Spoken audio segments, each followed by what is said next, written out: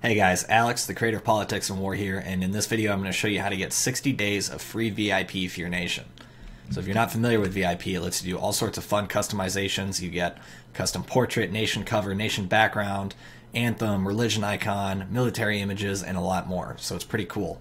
So to get this, you need to first uh, get onto the official Politics and War Discord server.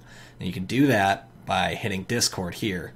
And this will be a server invite link, and you can use it in your web browser or you can download the app either on your uh, personal computer or on your phone. So uh, I've got the app. You can see I've got the app open here.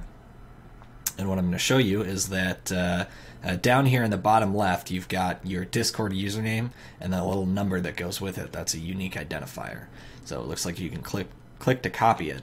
Uh, mine is Alex underscore PW number 4970. And then what you do is you take that into, sorry about my ESPN notification. You take that into uh, your nation page. So we'll go to edit here, edit nation.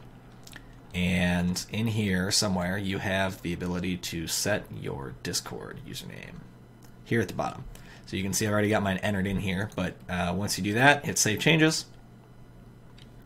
You'll go back to your nation page. You'll be able to see it uh, displayed right here, Discord username.